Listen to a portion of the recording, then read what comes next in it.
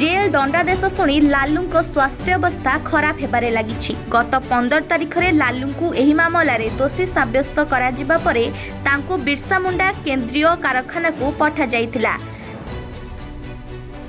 ତାହାପରେ ତାଙ୍କୁ ରାଞ୍ଚିସ୍ଥିତ ରାଜେନ୍ଦ୍ର ଇନଷ୍ଟିଚ୍ୟୁଟ୍ ଅଫ୍ ମେଡିକାଲ ସାଇନ୍ସକୁ ଚିକିତ୍ସା ପାଇଁ ପଠାଯାଇଥିଲା।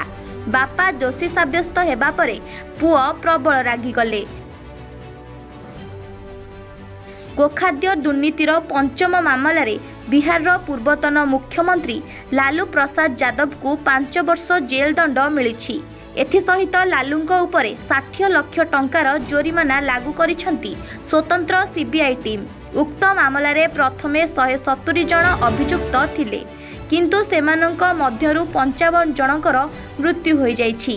ତେବେ ବାପା ଲାଲୁ ଯାଦବଙ୍କୁ ଦୋଷୀ ସାବ୍ୟସ୍ତ କଲା ପରେ ବିହାରର ପୂର୍ବତନ ମନ୍ତ୍ରୀ ତେଜଶ୍ରୀ ଯାଦବ ପ୍ରବଳ ରାଗି ଯାଇଛନ୍ତି।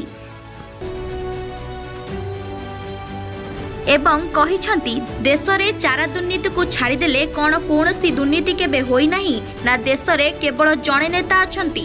ତେବେ ତେଜଶ୍ରୀଙ୍କର ଏଭଳି ସବୁ ବୟାନ ଏବେ ଚର୍ଚ୍ଚାର କେନ୍ଦ୍ରବିନ୍ଦୁ ସାଜିଛି। ତେଜଶ୍ରୀ ଏହା ମଧ୍ୟ କହିଛନ୍ତି ହାଇକୋର୍ଟର ନିଷ୍ପତ୍ତି ତାଙ୍କ ସପକ୍ଷରେ ଆସିବ। Bureau report news six Odia. News six Odia ସତ୍ୟ ସଂକଳ୍ପ ଆଉ ସଂଘର୍ଷ।